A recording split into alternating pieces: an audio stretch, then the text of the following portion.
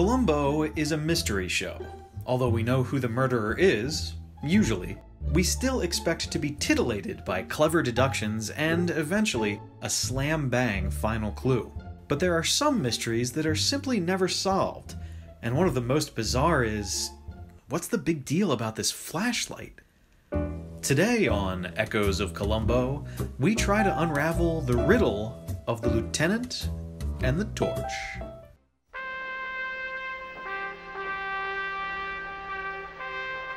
You should all know this scene, do you?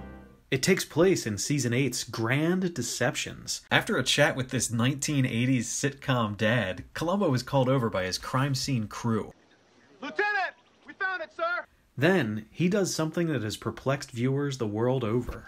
This object that I have in my hand is a flashlight, is that right? Yes, sir. Do you all see that? Yes, sir.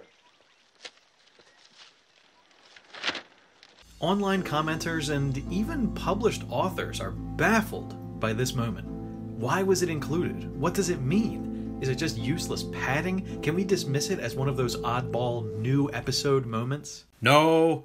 The scene has practical, dramatic, and even insightful aspects, but first we need to get a feel for where it fits in the busy flow of this criminally cornucopic Columbo case. Okay, so Colonel Frank Braley runs a training camp for paramilitary wackos, kind of like the bad guy in Under Siege 2, but he also runs a sort of neocon think tank on behalf of General Paget, who's a famous old war hero with a young wife, and Braley's sleeping with the wife and also stealing from the General's foundation. So the General hires Sergeant Keegan, who's also the Admiral in Under Siege 2, to spy on Braley, but Keegan gets greedy and tries to blackmail Braley instead, so Braley pretends he's setting up a present for the General and stabs Keegan in the heart, throws his flashlight away, and tosses him into an explosive pit that's part of some training exercise, and a toy falls over on the table. The practical importance of the flashlight to the plot is that it destroys Braley's accidental death scenario. Columbo concludes that the explosion couldn't have propelled it under a rock, meaning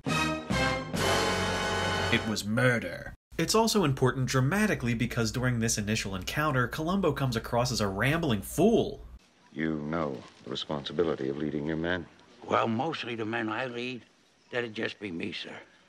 I see. Braley's confidence is bolstered and he starts to leave, but then he turns back and hears Columbo making a mysteriously big deal about this flashlight, which Braley had evidently never considered. Robert Foxworth's acting speaks volumes here. We see him shaken, if only for a moment. Now, why does Columbo do it? One theory is that it's a nonsensical moment not uncommonly seen in the later shows, like when Columbo meets Little Richard. But the flashlight is an important clue, and the scene doesn't last long enough to be just killing time. Another explanation? It's all a Columbo mind game intended to put the killer off guard. But keep in mind, Columbo doesn't suspect Braley until the next scene when he's spotted cleaning mud off the victim's floor. I thought that was peculiar for someone as arrogant as you are. The most likely solution to the flashlight puzzle is that Columbo is simply practicing good evidence management, and that's what confuses a lot of people. The show usually doesn't focus on in depth police procedures. We're used to the Columbo who cracks an egg with the murder weapon, but he doesn't seem quite so fumbling in this scene, does he? We don't often see him so competent. There's a taste of verisimilitude here that the show usually lacks, taking pictures, having witnesses corroborate the discovery, handling it carefully, like Orson Welles in The Black Museum, which extolled the virtues of patience and routine. Patience and more patience. Patience and routine were bringing results. The lieutenant kicks the scene off by emphasizing his dogged persistence. Search and look, look and search for whatever might explain the circumstances. We're reminded that Columbo probably has to do this kind of stuff all the time, it just happens off screen. I was always delighted by this insight. The scene is so completely unique. If I didn't already own a Columbo painting, I'd love to have one of this moment.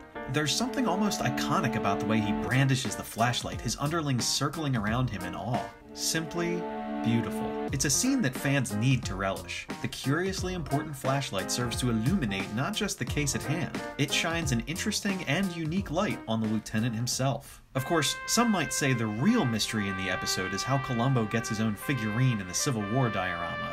But hey, come on. It's just a show.